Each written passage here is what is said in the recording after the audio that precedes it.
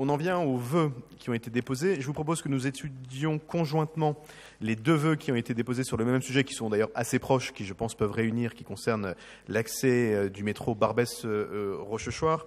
un qui a été déposé notamment à, mon initiative, et l'autre qui a été déposé par le groupe Les Républicains, qui consiste tout simplement à, à constater que de façon unilatérale, la RATP a décidé de fermer les jours de l'accès côté rue euh, du métro euh, Barbès, qui est euh, en soi problématique. D'abord parce que le fait de fermer de façon unilatérale est désagréable. Deuxièmement parce que ça a quand même un impact sur la capacité de circulation dans ce quartier.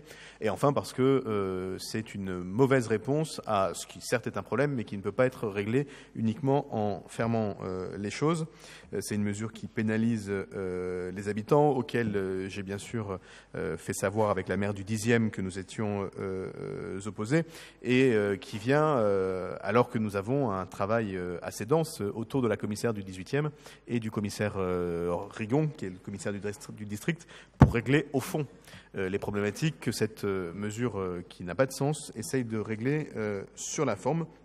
Voilà pourquoi nous vous avons proposé ce vœu qui demande de maintenir tous les accès de la station Barbès ouverts tous les jours et donc y compris les jours du marché, d'assurer la présence d'agents euh, puisque vous savez que la RATP est responsable de la police au sein de ces stations. La RATP comme la SNCF sont les deux seules entreprises à, disposer euh, des pouvoirs de police. Euh, la RATP et la SNCF ont des pouvoirs de police plus importants que la maire de Paris. Il faut quand même en avoir conscience, donc demander à ce que la RATP utilise ses compétences pour régler les problèmes qui se posent chez eux, et bien sûr que nous puissions poursuivre les échanges avec les services de prévention et de sécurité impliqués, à la fois la police et la DPSP. C'est un travail de longue haleine que nous faisons.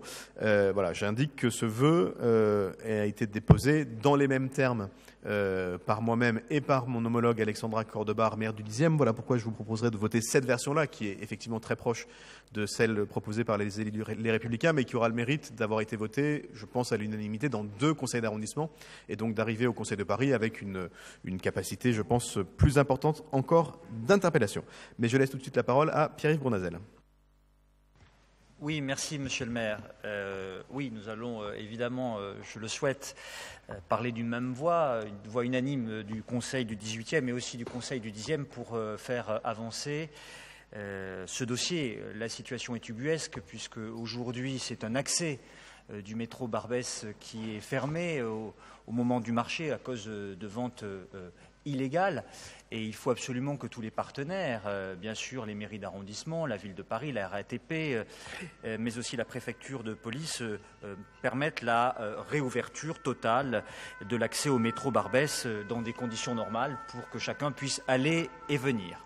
Et donc nous souhaitions, au travers de ce vœu, évidemment qu'il y ait un plan d'action concerté entre tous les protagonistes, la présence d'agents sur place, notamment au moment euh, où euh, cet accès est, fermé, et puis une concertation évidemment avec les riverains, les associations euh, qui portent des projets d'aménagement urbain, parce qu'ils sont évidemment très dynamiques en termes de, propositions, et je crois que c'est aussi important de, les associer. Dans le 10e arrondissement, vous venez nous en informer, la maire du 10e présente ce vœu. Nous irons aussi au Conseil de Paris euh, redéposer un vœu et j'espère que nous pourrons aussi le fusionner. Nous le ferons avec euh, Christian Honoré ici présent et Déborah Pavlik qui est euh, notre collègue élu du 10e arrondissement. Et donc je propose que nous fusionnons nos intentions au, service de l'intérêt général. Merci. Est-ce qu'il y a sur cette question d'autres demandes de prise de parole euh, Alors nous, on n'est pas en capacité de fusionner les rédactions à ce stade, mais on pourra y travailler à l'issue du, conseil euh, d'arrondissement. Euh, et effectivement, je pense arriver à un vœu unanime au Conseil de Paris. je vais donc mettre aux voix ce vœu qui est pour. Pardon. Un instant, s'il peut être précisé dans le procès verbal ou sur la notification que c'est un vœu du Conseil du 18e. Oui.